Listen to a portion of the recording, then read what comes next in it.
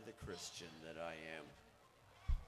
Let's give it up for the River Run Scarlet from Pittsburgh.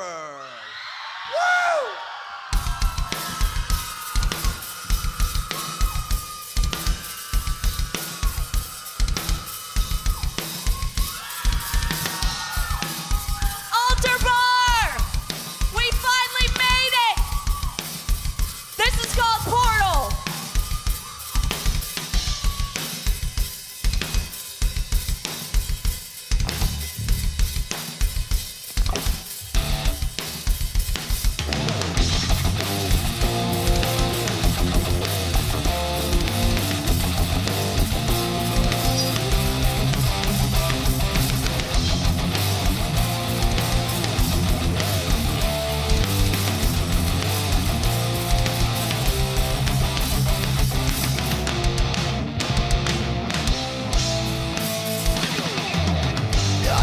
Jesus!